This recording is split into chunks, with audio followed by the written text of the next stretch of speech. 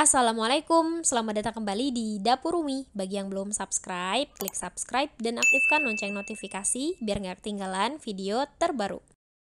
Di video kali ini, aku buat bolu pisang atau banana cake. Kebetulan aku punya pisang kelewat matang, jadi langsung aja aku manfaatin buat bikin banana cake ini. Dan nyoba pakai metode all-in-one. Ternyata hasilnya benar-benar memuaskan. Ini lembut dan super gampang. Banana cake ini teksturnya ringan serta rasa pisangnya kerasa banget. Recommended ya. Sekarang langsung aja kita buat sama-sama. Untuk bahan-bahannya teman-teman bisa screenshot di sini atau cek kolom deskripsi. Pertama kita akan melelehkan margarin. Nyalakan kompor, tumpangkan wajan atau panci, masukkan margarin, dan biarkan margarinnya meleleh. Kalau udah meleleh, seperti ini, matikan kompor. Margarin ini kita sisihkan sebentar, biarkan suhunya turun terlebih dahulu. Ini dia bahan utamanya, ini adalah pisang kelewat matang, kayak gini ya. Ini jangan dibuang, dibikin kue aja pasti harum dan enak banget. Aku pakai pisang Ambon ya, kupas kulitnya, dan timbang. Kita butuh sekitar 400 gram. Nah ini kelewatan 2 gram tapi nggak apa-apa lah ya, jangan dibuang, dibuang sayang. Menggunakan garpu, hancurkan pisang, tapi jangan terlalu halus. Santai aja dilumatkan, tapi biarkan masih ada potongan-potongan kecil pisangnya. Kira-kira seperti ini, kalau udah sisihkan sebentar. Masukkan telur dan gula pasir ke dalam wadah, wadah atau bowl mixer disusul dengan terigu dan susu bubuk. Jangan lupa tambahkan pasta vanila, kira-kira sekitar setengah sampai satu sendok teh. Kemudian bahan-bahan ini kita mix dengan kecepatan rendah sampai tercampur rata. Jadi, metode all-in-one ini semua bahan di mix atau dikocok bersamaan kecuali margarin atau mentega leleh. Dan karena kita bikin bolu pisang, pisangnya itu kita campurnya belakangan hasilnya tekstur pisangnya tuh berasa nanti kita lihat hasilnya sama-sama ya Sebelum kita naikkan ke speed yang tinggi, kita butuh pengemulsi atau penstabil. Di sini kita tambahkan SP. Naikkan speed mixer ke kecepatan tinggi dan mix hingga putih, pucat dan kental.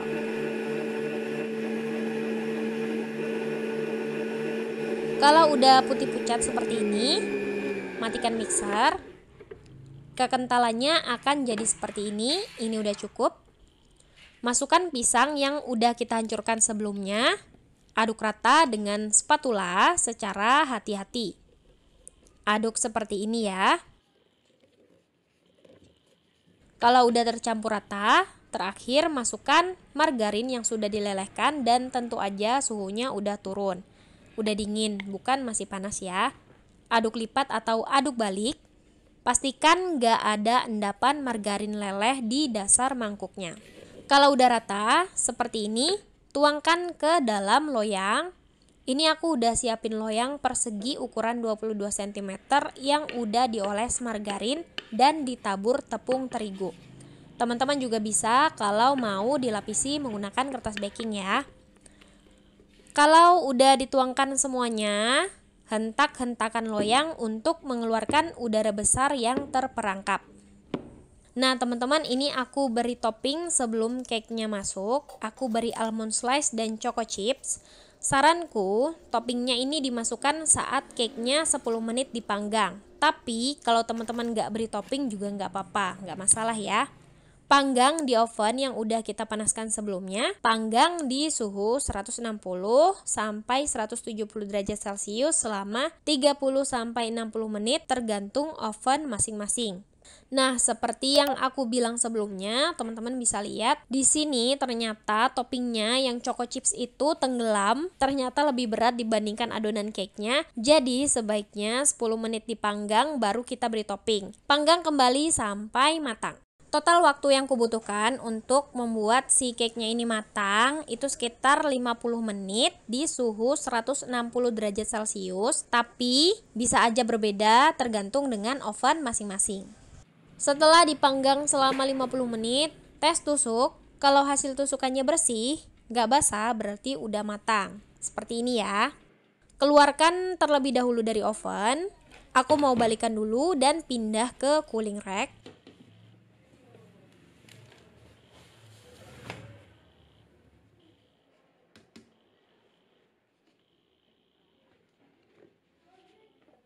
Ini dia hasilnya teman-teman. Ini kelihatan cantik dan empuk banget.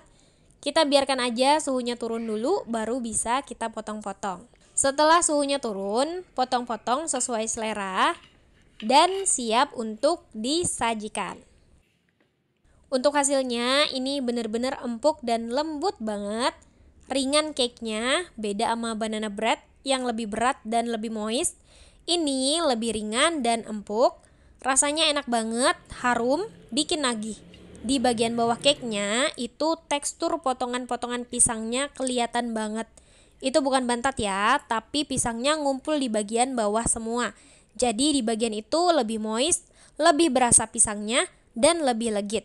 Sementara bagian atasnya lebih ringan dan berpori. Ini recommended banget ya teman-teman, selamat mencoba. Maaf kalau ada kesalahan, semoga bisa bermanfaat. Wassalamualaikum warahmatullahi wabarakatuh.